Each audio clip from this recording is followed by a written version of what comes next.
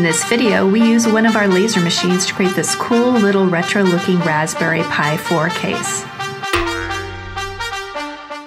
The case was made from primarily 8th inch MDF, which is what is shown being cut here. The MDF was masked with an application tape on both sides to keep it super clean to make painting later easier. I wanted to add a window into the side of the case, but I wanted it to be flush with the side panel. To do this, I engraved out a recess in the MDF that would match a recess and a window cut from acrylic. The panel window was cut from 8th inch acrylic, and the matching recess was engraved in it in multiple passes to get it deep enough. The acrylic was masked on both sides to keep it clean during the engraving process, and also to protect it later during the case assembly. All the MDF pieces had the application tape peeled from both sides. You can see how clean the pieces came out by masking them, especially the panel with the heavy engraving. Before painting, I cleaned up the panel's engraved recess with some quick sanding. I thought it would be easier to attach the case fans first before assembling the case. I've made a huge mistake.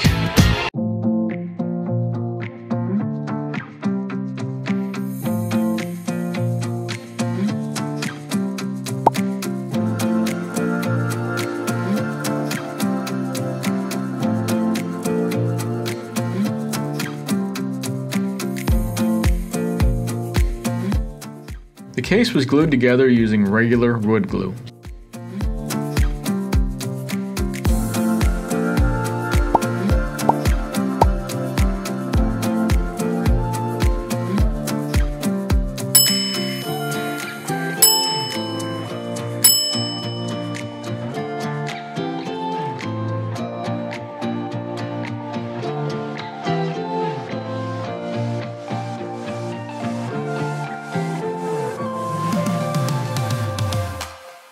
All the MDF pieces were given a quick coat of sealer prior to painting.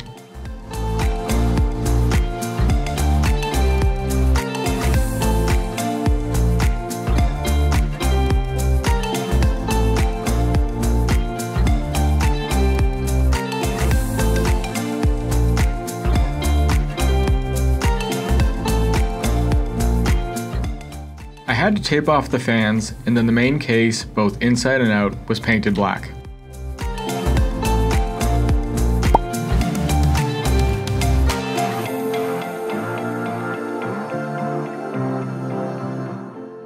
When I removed the tape, I could see that this didn't work out too well. I should have just done it the right way and installed the fans after painting.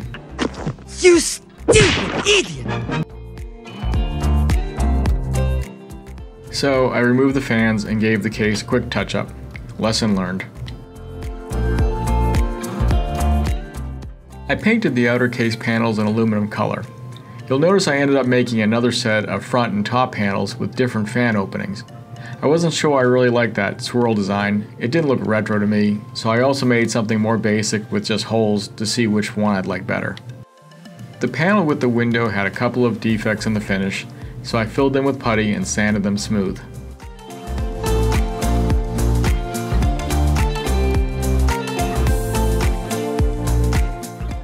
Even after using the sealer, the overall finish of the panels still wasn't that great.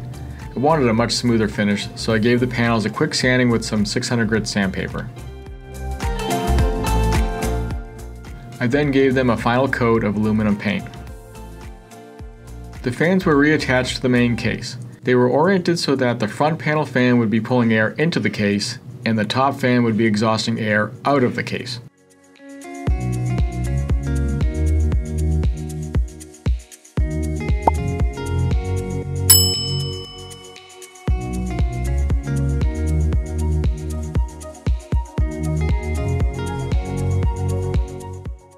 The Raspberry Pi we have already had the heatsinks attached, but we're showing it again here for continuity.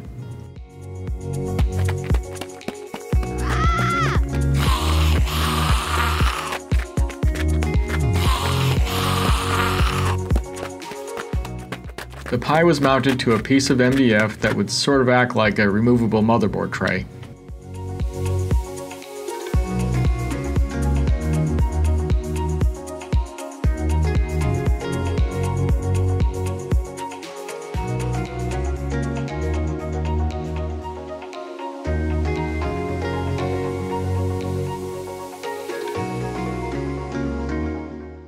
The Pi assembly was then inserted into the case and secured with some screws.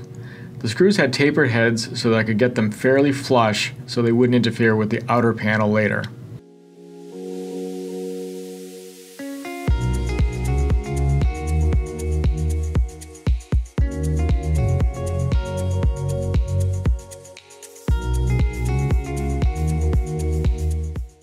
I had to add some lights to the case, just because. So I cut an LED strip about the right length to fit along the bottom and back of the case. I used a pre-made connector to make my life easier. I just had to insert the LED strip into the connector and then I secured it with some hot glue. I folded the strip's cord against itself to get it oriented correctly for the install and I secured it with more hot glue.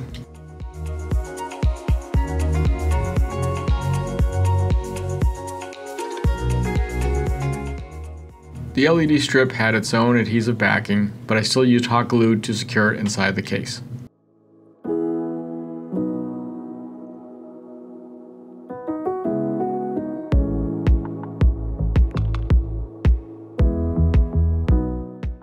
I plugged in a USB-C power cable into the Pi that had a built-in on-off switch already. I also plugged in a micro HDMI cable. The side panel had some holes engraved in it in case the Pi board screws were sticking out a little so the panel would still sit flush. I screwed it on with some really small brass wood screws. I think silver screws would have looked better, but I already had these from another project and I think they still look pretty good. I screwed on the front and top panels next. I decided to go with the more basic fan hole pattern instead of that swirl pattern you saw earlier.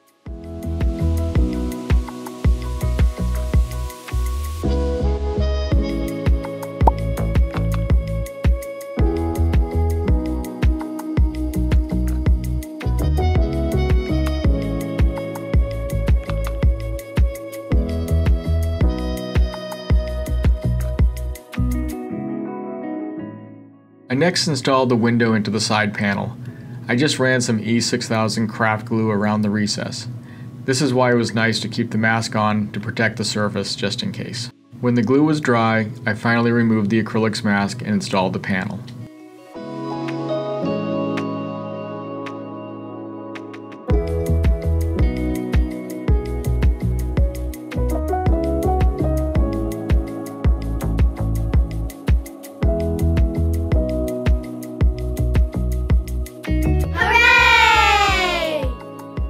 I think it came out really nice. It actually looks like a miniature version of a case I put together back in the late 90s or maybe it was early 2000s.